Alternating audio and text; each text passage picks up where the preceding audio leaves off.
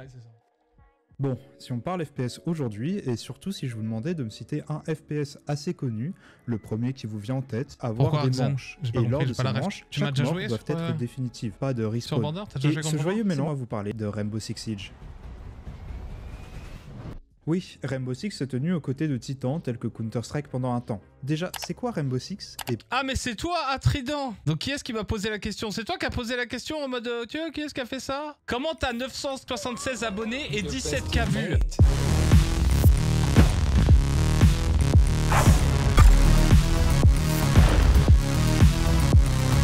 Remember it. Je like.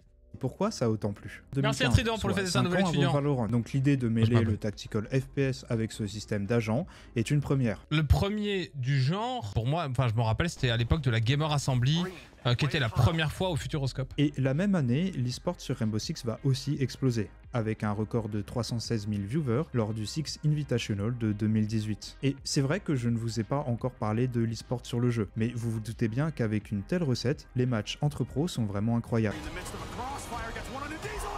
Oh, ce moins 3 était incroyable. Bon, comme vous le voyez, l'e-sport sur Rainbow Six prend vraiment bien. Les matchs sont super prenants à regarder, on découvre des nouvelles stratégies en permanence et les joueurs sont vraiment forts. Mais vous vous doutez bien que si cette histoire s'arrêtait là, alors Rainbow Six serait toujours au top aujourd'hui. Mais pourtant, si on regarde dans la catégorie du jeu sur Twitch, bah oui, les joueurs ne sont clairement plus là. Bon, les events e-sport sont de moins en moins regardés et les joueurs ne cessent de partir, même si certains restent sur le jeu. Mais alors pourquoi? Exemple sur League of Legends, qui est un des jeux compétitifs les plus présents depuis 2019, qui subit sans cesse des Et ces équilibrages ne consistent pas juste à nerf un de leurs personnages, mais aussi à en buff d'autres. D'autant plus qu'au fil des saisons, avec tout le temps deux nouveaux agents et une nouvelle map qui sortait, bah au bout d'un moment, Ubisoft avait épuisé leurs idées. Et ont commencé par retravailler des maps au lieu d'en sortir une nouvelle, puis ils ont commencé à ne sortir plus qu'un agent à la Ouais, d'accord, ok. Il y a pas mal de trucs qui sont bien, etc. Mais bon, déjà sur la partie League of Legends, mais on peut pas comparer les deux sans rentrer dans euh, le contenu, euh, sans rentrer dans les détails du style de jeu qui n'a strictement rien à voir. League of Legends, c'est un putain de jeu qui peut tourner sur un mobile de 1976, quoi. Et c'est la même chose pour Valorant au final. Et c'est des jeux qui sont très simples à prendre en main. La grosse différence qu'il y a entre Counter-Strike et pour le coup Rainbow Six, elle est juste expliquée par un truc dont on a déjà parlé euh, plein de fois, qui s'appelle la loi de Bushnell. Le principe de game design est souvent repris par la formule facile à apprendre et difficile, voire presque impossible à maîtriser. La vraie différence, avant de rentrer dans le contenu, avant de rentrer dans euh,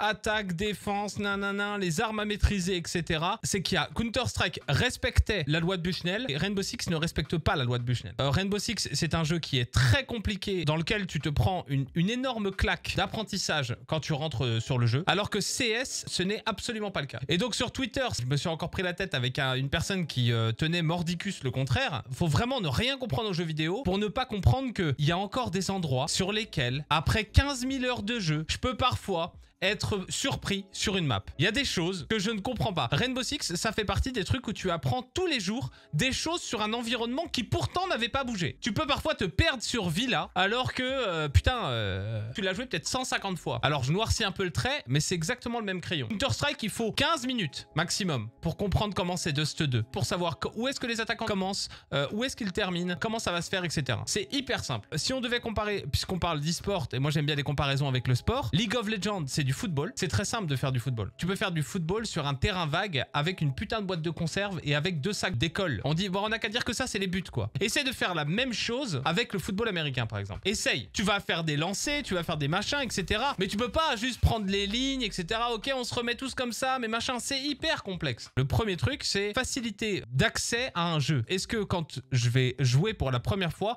est-ce que c'est simple? Et le pire, c'est que ce qui était le cas à l'époque de fucking Pong, ok, donc dans les années 80, l'est encore plus maintenant. Parce que les joueurs, les consommateurs, ont une capacité de frustration, enfin ont une frustration qui est bien supérieure à celle que, que moi j'ai à ma génération ou qu'avaient nos parents. On essaie un truc, ça nous frustre, on désinstalle et on passe à autre chose. Imaginons un environnement pur et parfait. Rainbow Six correspond à toutes vos attentes. Vous n'avez pas de cheater, vous n'aimez pas les cheaters, il n'y a pas de cheater. Vous n'aimez pas les trucs, les skins à la Fortnite, etc. Il n'y a pas de skins à la Fortnite, vous pouvez les enlever. Vous pouvez faire ce que vous voulez. Jamais, au grand jamais, il ne pourrait rivaliser avec un jeu comme Counter-Strike, Valorant ou League of Legends. C'est l'un des éléments qui fait que les gens euh, soit ne vont pas y jouer, parce que bon, ah non, la flemme de m'y mettre, de la même façon que tu as la flemme de te mettre à Escape from Tarkov, parce que c'est une vraie sortie de zone de confort. Il faut rentrer dans la zone de l'apprentissage. Et ça, les gens, ils ont pas forcément envie, en sortant de l'école en sortant du, boulot, de rentrer dans une logique de ah ouais, ah ok, ah machin. Il y a un autre élément qui est extrêmement important, c'est l'élément euh, marketing, c'est l'élément de hype. Si Zerator n'était pas sur Trackmania, mais qu'il était tombé amoureux de Rainbow Six, nous n'aurions pas la même discussion. Et c'est pas impossible que ça puisse arriver. Si demain Kameto décide de tomber totalement amoureux de Rainbow Six et de faire un truc sur Rainbow Six, d'un point de vue e-sport, ce ne serait pas impossible de détrôner CS en France sur la partie e-sport absolument pas impossible. La majorité, elle est sur PlayStation 5, sur un canapé, en train de jouer avec des potes et d'essayer le jeu, etc. C'est ça, les 176 000 personnes que tu, dont tu parles tout à l'heure. Nous, on est une toute petite minorité. Pour la plupart des joueurs pros, quand ils ont sorti les nouveaux trucs, Personne ne joue la COG aujourd'hui. Si la COG était si un truc si emblématique que ça, etc., il existe à l'heure actuelle. Pourquoi personne le joue? C'est bien qu'au final, il était plus adapté par rapport à un jeu et à un jeu qui devenait euh, de plus en plus lent par rapport à certaines mécaniques, mais au final de plus en plus dynamique. Puisqu'on pète plus facilement les hard bridge, etc. Ça va plus vite. Pour moi, c'était le manque de nouveau contenu quand on a parlé SteveX dans notre interview. Le manque de contenu, je pense que c'est les choses qui créent de la frustration chez le joueur, ok? L'état de santé du jeu. Cheat, machin, truc bidule. Ça déjà, ça crée un premier élément de frustration. Plus effectivement le manque de contenu et plus une mauvaise gestion marketing et en particulier marketing local. L'une des nombreuses raisons pour lesquelles il n'y a plus de dialogue entre Ubisoft France et moi, je suis pas d'accord avec la façon dont ils ont pu par le passé et même au présent gérer marketingement qui se passe autour de Rainbow Six sur la France par exemple. Et si c'est le cas en France, ça doit être le cas ailleurs. Et on l'a déjà vu ailleurs au final. On a déjà vu des trucs qui étaient qu'on considérait comme étant aberrant. Et je veux pas dédouaner le, jeu en lui-même au final. Regarde Fortnite, le contenu est ouf sur Fortnite j'imagine. À chaque fois il y a du contenu, des trucs, des machins, des bidules. Marketingment parlant, ils sont au top. Et pourtant, la hype elle a baissé. La hype, c'est plus la même qu'avant. En termes de chiffres purs et durs et en termes de pourcentage, la baisse de Fortnite jusqu'à la nouvelle saison qui vient de sortir, elle a été bien plus importante que la baisse de euh, Rainbow Six. Il aura fallu quoi pour que le jeu soit au sommet aujourd'hui? C'est impossible que Rainbow Six soit au sommet. Il y a un moment, il faut faire un état des lieux des choses et il faut prendre les qualités et les défauts d'un truc et se dire réellement où est-ce qu'on peut aller. C'est pas possible de venir détrôner du League of Legends, c'est pas possible de venir détrôner un CSGO. Et parfois ça, ça fait mal, tu vois. Quand ils ont construit Valorant, ils ont construit Valorant dans une logique où ils voulaient que ça pète en e-sport. Indépendamment du fait qu'ils disaient non, nous on veut juste un jeu fun et tout, nanana, qui tourne sur toutes les bécanes. Donc ils sont partis dans une logique où le jeu allait cartonner en e-sport. Vous pensez vraiment, sachant que Ubisoft n'avait aucune expérience sur l'e-sport, Raven Shield en 2004 c'est un échec en e-sport. Ce que je veux dire c'est, imaginez on est en 2015, est-ce que vous pensez que en 2015, donc à la sortie du jeu ou à la création du jeu 2014, on s'en fout, vous pensez vraiment que le mindset des personnes qui travaillent autour de Rainbow Six est le même que le mindset des personnes qui travaillent à la même échelle, donc en 2019, autour de Valorant? Mais pas du tout quand le jeu Valorant il sort, ok? On nous parle déjà de netcode. On nous parle déjà de trucs qui vont faire que le jeu va être fair et compétitif. Le truc, il est basé autour de l'anti-cheat. Valorant, c'est moche, ok? Valorant, ça tourne sur une fucking PlayStation 2, en fait. C'est hyper bien optimisé. C'est le but. C'est que ça tourne sur plein de trucs. C'est hyper simple, etc. Et Rainbow Six, c'était pas possible de ça. C'était pas possible. Mais tout ce qui fait les faiblesses d'R6, c'est ce qui fait de ce jeu un jeu unique. Exactement. Et apprendre ou à laisser. Je persiste à croire que ce qui est proposé... Je, persiste à croire que... que, Rainbow Six, c'est comme la Formule 1 d'il y a 7 ans, quoi. Personne, il y a, il y a 7 ans, tout le monde s'en battait les couilles de la Formule 1, franchement. 8 ans ou 9 ans, j'en ai rien à branler, mais il y a eu un moment où, je, sais pas, personne ne parlait de la Formule 1, quoi. Et puis, il y a un moment, il y a un mec qui s'est dit, putain, faut que marketingement, faut qu'on fasse un truc, quoi. Et bam, on va faire un truc sur Netflix. Et bam, on va faire des trucs marketing. Et bam, on va faire des trucs intelligents. On va travailler avec les bonnes personnes de la bonne façon, quoi. Est-ce que ça a vraiment changé? Oui, on a commencé à comprendre qu'il fallait faire des choses pour les viewers. Ah, on va rajouter des plaques de métal en dessous des trucs de Formule 1 parce que ça fait des étincelles. Et les étincelles, ça, les gens, ils aiment bien. On va aller peaufiner ce genre de trucs là. On se dit, ok, ok, on va faire ça, ça et ça. Mais il y a 9 ans, personne, tout le monde s'en battait les couilles. De toute façon, satisfaire 100% des joueurs est impossible tout simplement. Et ce, peu importe le jeu. Grave la fois, et souvent très peu inspiré en plus. Mais j'ai dû quitter le jeu car je ne m'amusais plus dessus, non pas à cause des nerfs incessants, mais surtout à cause d'un fléau qui touche tous les jeux, les cheaters et les smurfs. Le... Bon, le fait que ça, que ça crée un élément de frustration, euh, le, cheat, etc., oui, tu as tout à fait raison. Je l'ai déjà expliqué sur Twitter, les amis. À chaque fois, on essaie de trouver une justification sur le fait d'être parti d'un jeu. On se dit, c'est parce que ça dans le jeu. C'est parce que ça dans le jeu. Mais vous jouez plus avec les jouets avec lesquels vous jouiez quand vous étiez enfant.